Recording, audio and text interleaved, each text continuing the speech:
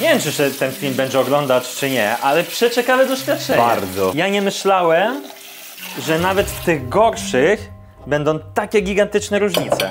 Ale żeby każdy był totalnie inny między sobą. Cześć wszystkim, witajcie w nowym odcinku, gdzie dzisiaj będziemy testować wszystkie pysto baziliowe, które znaleźliśmy na polskim rynku. Kupiliśmy je ze wszelkich zakątków internetu. Kupiliśmy i znaleźliśmy we wszelkich zakątków supermarketów. I otóż one, aż 13 pystu. I zobaczymy, który zwycięży jako najlepszy, gotowy pysto baziliowy ze wszystkich. Będziemy oceniać smak, zapach, skład i wiadomo też cena, ponieważ jest bardzo ważne dbać o własnych kieszeniach. Bierzmy się od razu do roboty i pystujemy, ponieważ pystu to znaczy, wiecie, pystować, to jest taki pysz, pysz, pysz. Znaczy bić. Serio? To to oznacza? Tak. Po włosku? Jeżeli ja jaczę pystu, se io ti pystu, to znaczy, że ja cię biję. Dlatego mam żonobijkę pod spodem. Pesto. Żono pesto. Bierzemy się do roboty. Bierzemy się do roboty. Bierzemy się do roboty.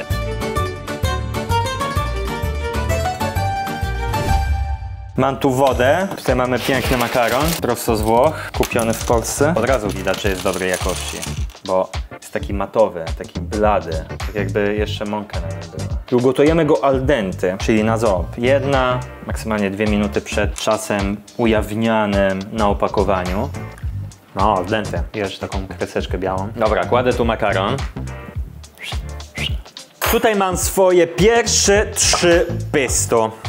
Od najtańszego Pesto Baresa alla Genovese w składzie mamy aż albo tylko 38% bazylii, olej słonecznikowy, 11% oliwa z oliwek, orzechy nerkowca, jogurt, aromaty, sól, cukier, 1,3% seru pecori, pecorino romano, 1% orzeszki pini. Otwieramy.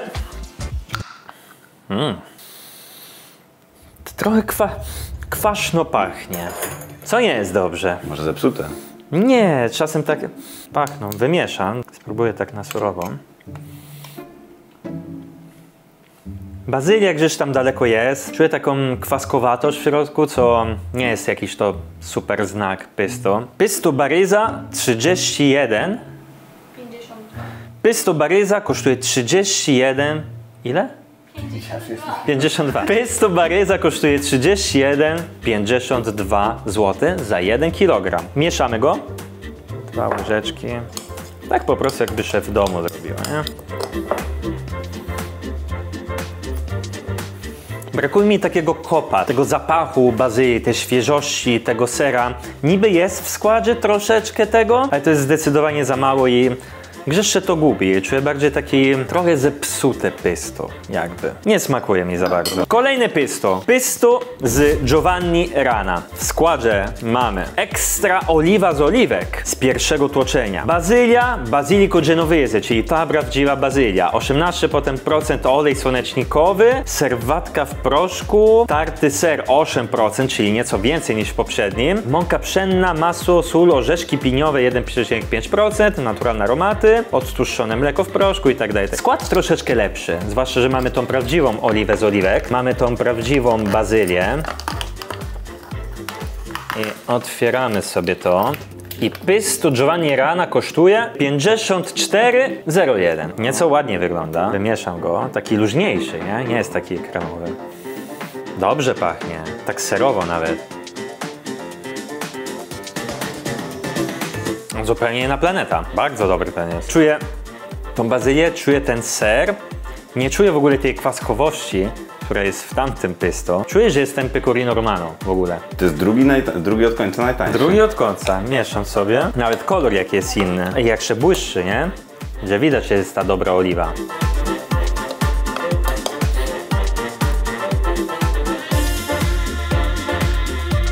To jest dobre. Co się dobre. To nadal nie jest to świeżo zrobione pysto, wiadomo, ale już czuć te aromaty. Czuć, że to jest takie już bardziej pystowe, nie? Spróbuję jeszcze raz to starsze. O Jezu. Fuj, jak dzień i noc. Mmm, no, o kurde, o kurde. Co? To jest super dobre. To jest dobre. Lecimy dalej. Trzeci pystu. Łowicz. W składzie mamy bazylia 37%, olej słonecznikowy, woda, orzechy arachidowe 5,5%, ser pecorino romano 2,5%, czosnek, sól, ser grana padano, czyli jeszcze jeden ser włoski, jakiś błonnik ziemniaczany, pieprz, regulator kwasności, kwas cytrynowy, aby nie było kwaśne. Cena za pystu łowicz to jest 55,50 za kilogram. Z wyglądu to taki miks poprzedni. Spróbuję go na surowo.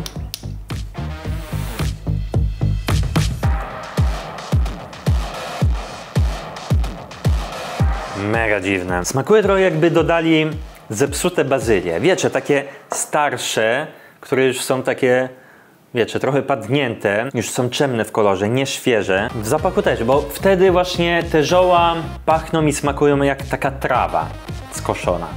I właśnie czuję ten zapach. Powąchaj. O Jezu, dziwnie to pachnie. Jak trawa skoszona. No, No, i tak smakuje. Ale też kolor jest najmniej taki żywo-zielony. Pierwszy był bardzo jasny, ten drugi z Giovanni Rana fajnie się błyszczy, żywa zieleń, a tu wygląda jakby była stara, skoszona trawa.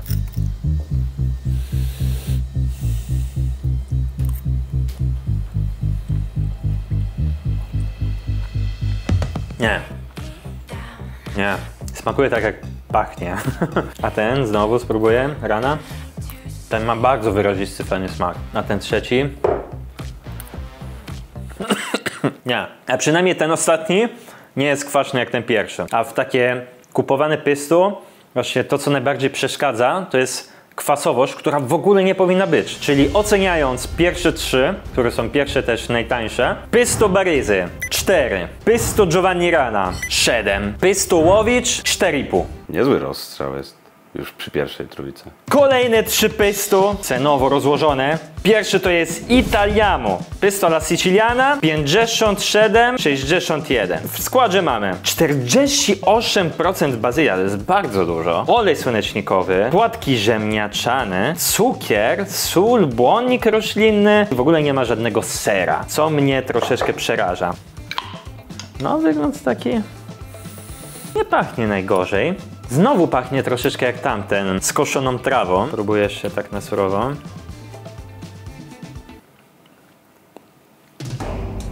Brakuje wyrazistości w ogóle, jakiejkolwiek. Mieszamy, próbujemy, ale już to źle widzę znowu.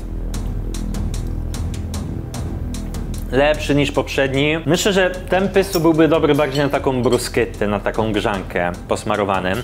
Że jeszcze chcesz do tego dodać jakieś pomidorki, jakiś kawałek mozzarelli, to wtedy jest nadal ok.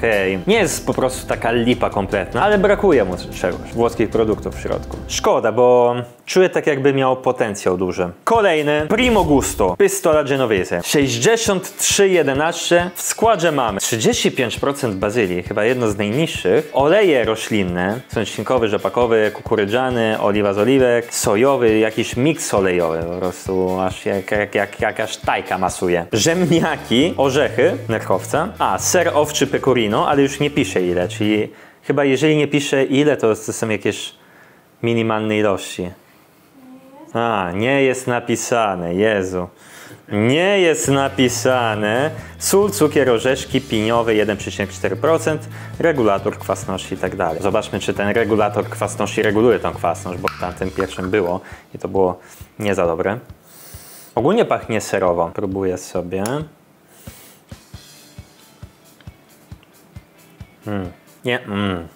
A. Pierwsze zderzenie było, o, chyba jest dobrze, a potem każdy kolejny krok było tak jak wchodzenie na dużych stopniach na schodach. Coraz ciężej, coraz ciężej. Na początku czuję ser, nie wiadomo jaki, a potem gorycz, kwasowość wlatuje, dodaję do makaronu. Są to orzeszki pini, co to jest plusem, ale w ogóle ich nie czuć. Testuję.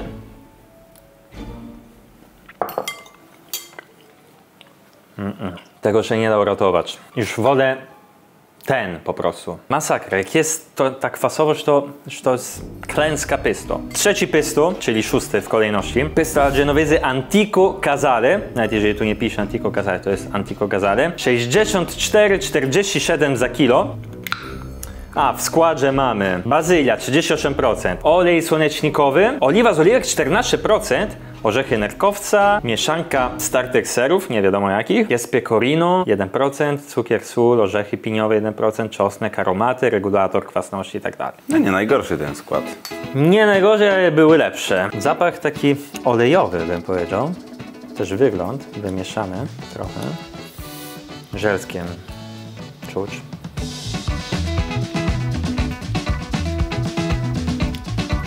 Ja czuję cytrynę. Nie ma nic wspólnego w moim odczuciu z pesto, zwłaszcza la genovese. Dziwny ten smak bardzo, ale lepszy od tego nadal. Od którego? Od tego środkowego. Ten, ten masakra. Zobaczmy wymieszanego z makaronem.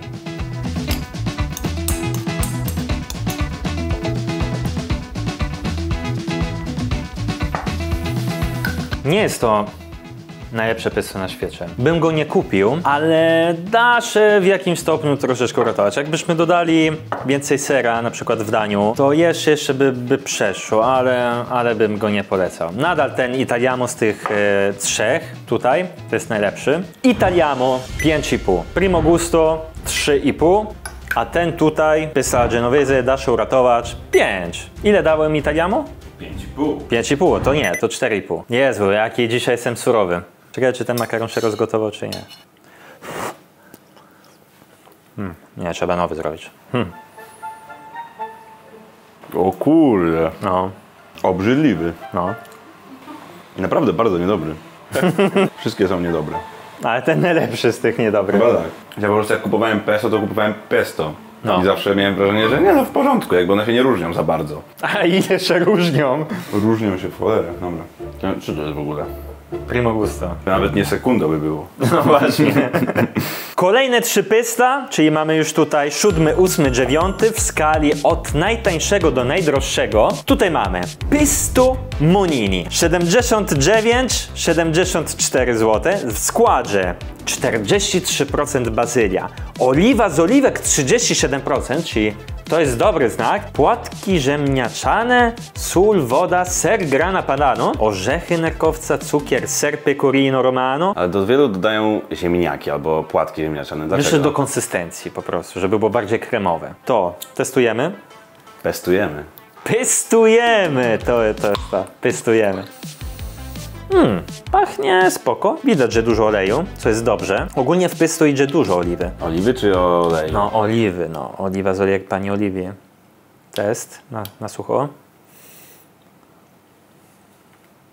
Mmm, przyjemny, bazyliowy. Czuć ten ser, mogłoby być go więcej. Dobra, mieszam go. Kolor no nie jest z tych najlepszych kolorów, ale nadal lepszy niż te takie wyblakłe.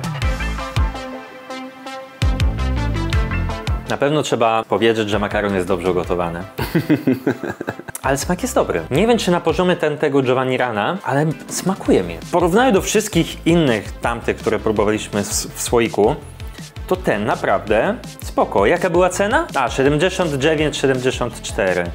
No, w porównaniu do tych, co kosztują 60 ile złotych za kilo, no to ja bym na razie to wybrał. Bo ten Giovanni Rana to wiesz, jest taki, nie jest w słoiku, nie? Jest No taka- ale jest lepszy? No jest trochę lepszy. Kurde, to jest niesamowite. On był jednym, drugi najtańszy? Drugi najtańszy. No, czyli jeżeli tamten miał 7 na razie, to temu damy 6,5 plus Dobra. albo 7 minus. 6,5 plus. Bardzo mile zdziwiony jestem. Może ta cena ze względu na lepszy skład niż tamten? Brakuje orzeszków pini. Szkoda. 6,5 jednak. Kolejny pystu. Pystu Tigullio 82-89. Skład olej słonecznikowy, bazylia 31%, migdały, białka mleka, ser grana padano do 3%, czyli dużo w porównaniu do tamtych. Sól, serwatka z mleka, ser pecorino romano 2%, regulator kwasności. Jak piszą ten regulator kwasności, to ja już, ja już oczekuję, że to będzie kwaśne. Jak żygi to wygląda trochę. To jest regulator kwasności czy kwasowości? Kwasowości. Okropnie to wygląda. Jak y, Nutella pistacjowa. Tak, ale jakaś wymielona, zjedzona i wypluta. No jest. Źle się to zapowiada. Nie oceniaj książki po okładce. Dobra. Okej. okej. Nie jest kwaśne. W ogóle. Zero. A bałem się. Dużo regulatora Dużo kwasowości. regulatora. Jest bardzo serowe, ale w ogóle tej bazylii nie czuć. Sól i ser. Amerykanie byliby zachwyceni. To się to jest trochę addictive, nie? Bo sól, wiadomo, wciąga, nie? No weź jedną sobie zjedz. Nie. Ale dodaję do makaronu.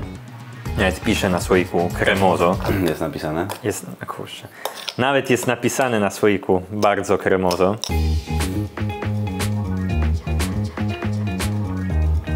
Makaron jak zawsze dobrze ugotowany. Nie wiem kto to robi, ale rewelacyjnie. Ale opinia taka sama. Sól i ser czuć. Nie jest to złe, ale to nie jest takie pysto, nie? Bo nie czuć w ogóle tej bazylii.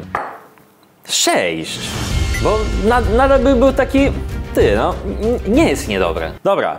Pysto Barilla 84,16 za kilogram. W składzie mamy olej słonecznikowy, świeża bazylia. W innych jest tylko bazylia. Tutaj jest napisane świeża bazylia. Nie wiem, czy to jakaś różnica. Czy widocznie w tamtych nie używają świeżą bazylię. Może mrożoną. Może mrożoną. Kto wie? Ale tu pisze. Przepraszam. Tutaj jest napisane e, świeża bazylia, orzechy nerkowca, potem parmigiano reggiano 5%, błonnik kukurydżany, serwatka w proszku, ekstra oliwa z oliwek pierwszego tłoczenia, cukier, ekstrakt bazylii, czyli też nowy składnik, a jest dużo tego sera parmigiano reggiano. 5%. Jeszcze ta oliwa z oliwek. No, Spróbujmy. Ciekawe. Zwłaszcza, że Barilla to wiesz, to jest taki, taka firma, co się kojarzy typowo z Włochami. Wygląd? Lepszy niż tamto. No, jak się pomiesza, to nieźle. Ale od razu widać w tych pystach, że jest dużo oliwy, że się błyszczy inaczej. Pachnie dobrze.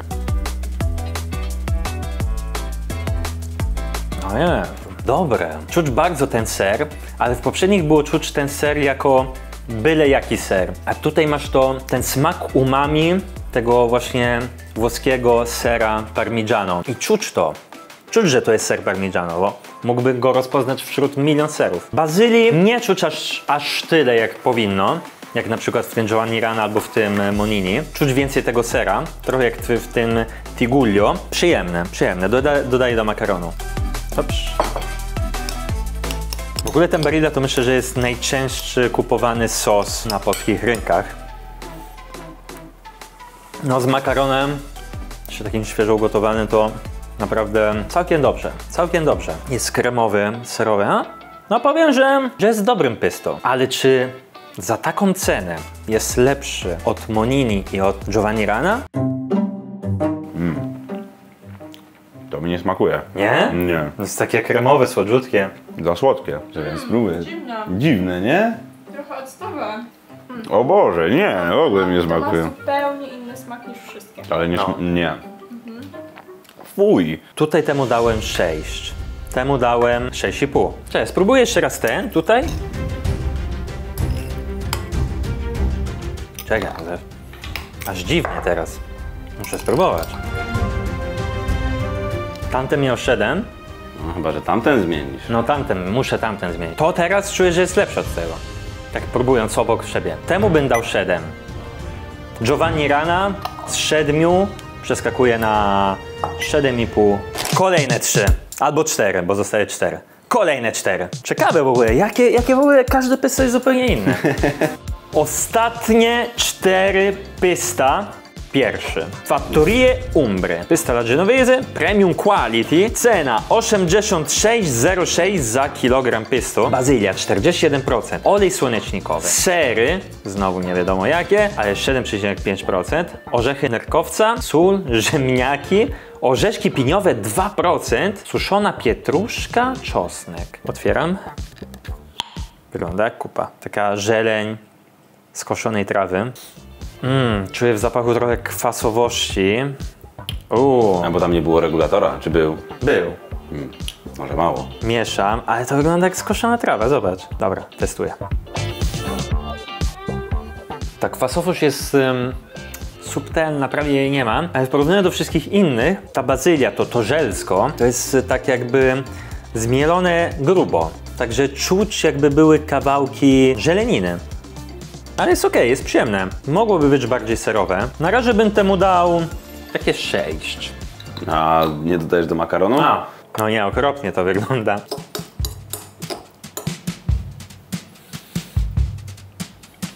No grzesz ta bazylia jest, nie? Ale w zapachu ją nie czuć. Ale nie jest niedobre. Jest takie, byś, byś się to zjadło i by było, no, okej. Jest to pysto. Następne, pysto zielone Bioplanet 91,07 za kilo. Te ceny są naprawdę coraz wyższe. Bazylia 66%. Sama bazylia. To jest dwie trzecie tego słoika to jest bazylia. Olej słonecznikowy, oliwa z oliwek extra virgin 14%, orzechy nerkowca, sól, sok z cytryny, miejąc nadzieję, że to nie będzie kwaśne, płatki ziemniaczane, regulator kwasowości, kwas mlekowy. W ogóle nie ma sera, w ogóle nie ma orzeszków pini. Jest tylko dużo bazylii, dużo oleju. U, kolor dziwny, jak takie bagno wygląda. Jak bagno, szary to jest. No totalnie jak skoszona trawa. Nie no, powąchaj. No, no, rzeczywiście. Jak, Jezu, jak latem nad wodą. Taka mokra, skoszona trawa. Tak. Próbuję.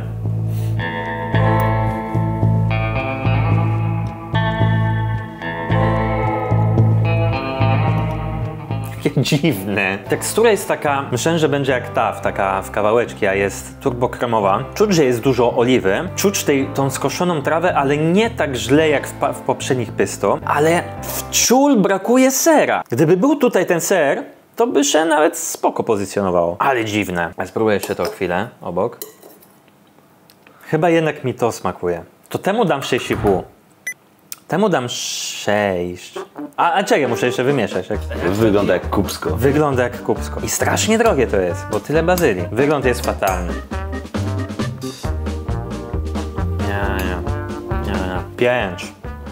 Czym więcej, tym, tym gorzej. 5,5. 5,5, bo dużo bazylii. Lećmy dalej. Przedostatnie pysto. Pysto alla genovese. 133,22 za kilo tego pysto. Ponad czterokrotnie droższy niż najtańsze pysto, którego mieliśmy. Skład. Olej słonecznikowy. Bazylia 36%. Taki miks serów, parmigiano reggiano i pecorino. Orzechy nerkowca. Rzemniaki w płatkach. Aromat, orzeszki piniowe, regulator kwasowości. Ale taka cena? Skład dziwny, nie? Na taką No. cenę. No, bardzo dziwny. Ale kolor ładny, zieloniutki. Taki przyjemny kolor. Ładny. Ładny, zobacz jaki ładny. Nie? Bardzo serowo pachnie.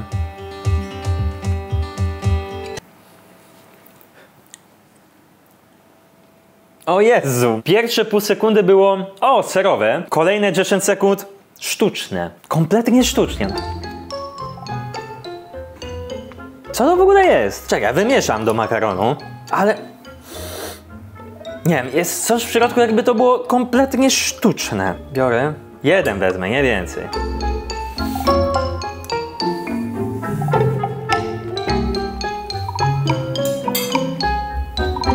Co to jest? Ochyda. Ja to zamknę. Koniec końcem nie czuję bazylii w smaku. Czuję, że jest jakiś ser w środku, ale w ogóle nie, nie smakuje jak, jak ten. Jak pesto, musisz to spróbować. Maciej. No dobra, dawaj. Bie, weź sobie sam.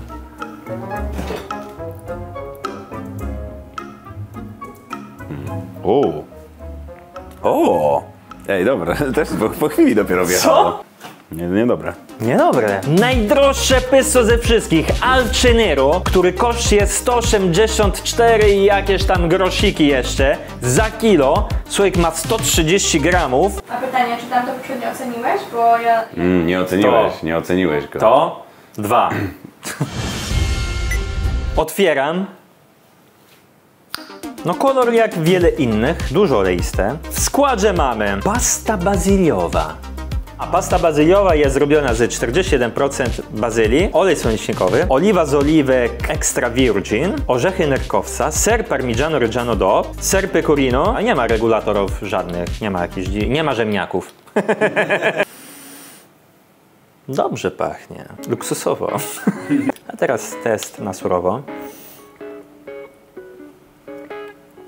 Mm, przyjemny bardzo. W ogóle nie ma kwasowości. Nawet czuję tą bazylię. Czuję dużo tego oleju, co jest miłe. Nie jest w jakimś tam stopniu za bardzo kremowy, za bardzo taki, za bardzo słony. Jest po prostu zbalansowany. Nie ma tego, że jesz i bum, wali ci sól, bum, wali ci ser, bum, wali ci trawa jakaś. Wszystkie składniki czuć tyle, ile trzeba, jak na gotowe pysto. Mieszam do makaronu.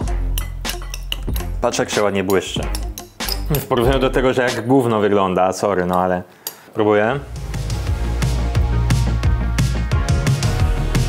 Jakbym zjadł, zjadł takie gotowe pysto z makaronem, to byłbym bardzo zadowolony. Tam to miało, najwyższa ocena była 7,5. Temu dam 7, ale jest wczół drogi, nie? To ja bym temu dał 7 i bym dał na sam koniec taką top trójkę najlepszych pysto, które mieliśmy dzisiaj i zadecydował ostatecznie ich oceny. Panie i panowie, przetestowaliśmy wszystkie pysto i te, które dostały najwyższą ocenę, to są te, które widzicie tutaj. Mamy Giovanni Rana, mamy Pysto Barilla i mamy Alcenero, które cenowo bardzo mocno się różnią jedno od drugiej. Giovanni Rana, które dostało 7,5 ostatecznie, kosztowało około 54, Pysto Barilla około 84, Alcenero 180 miliardów, to po prostu złoto w tym jest.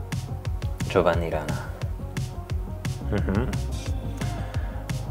Barilla.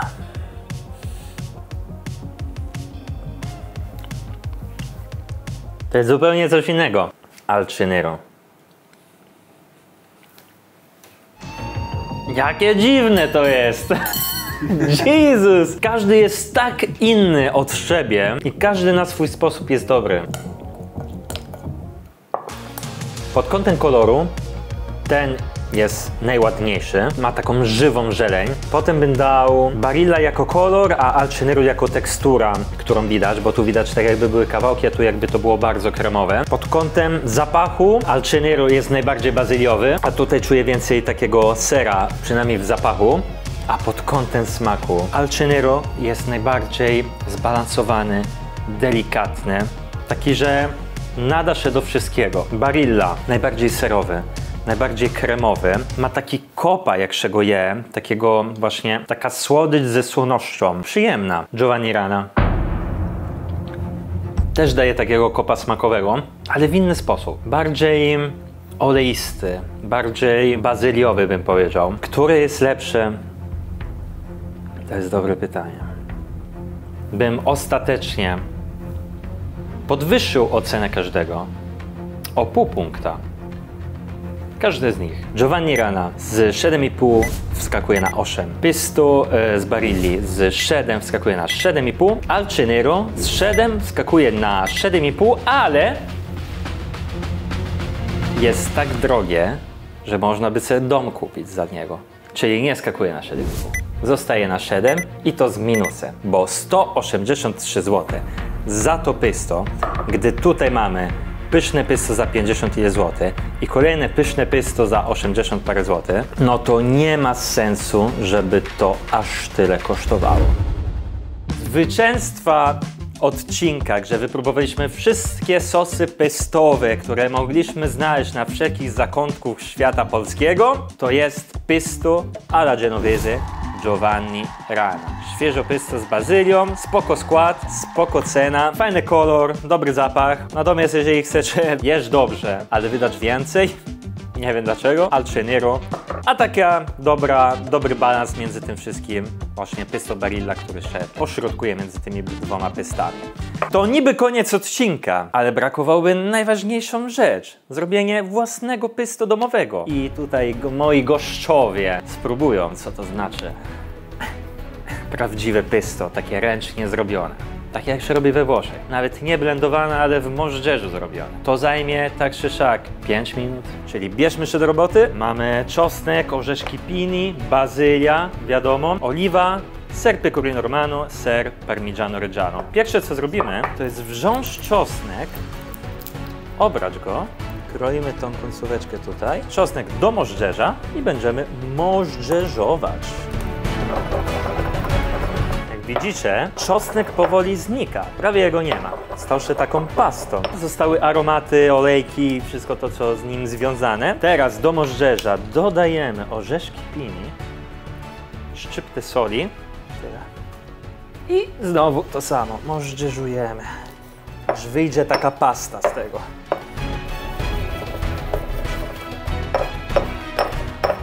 Wyczyszczamy z możdżerza.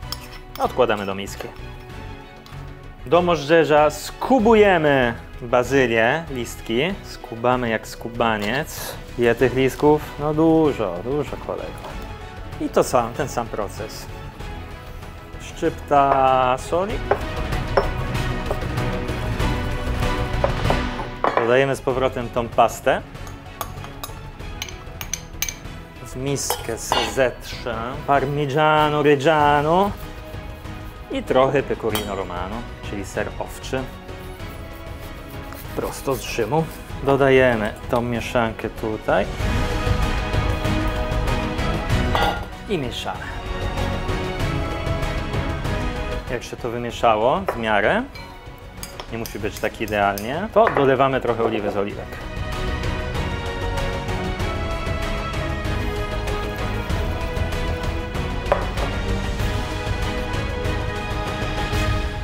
Dobra, gotowe. No i jak? Pyszne, spróbuj.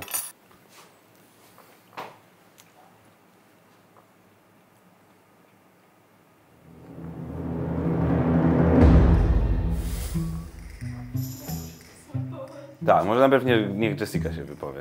Ja się boję.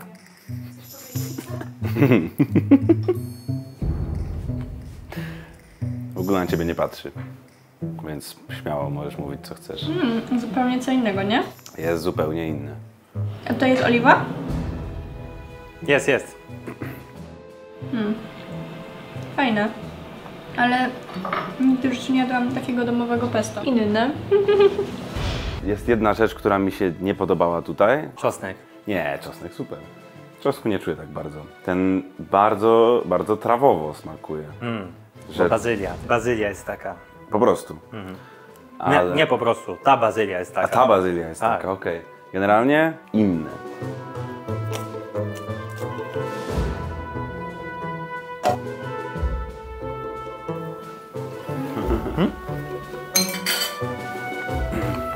Świeżutkia.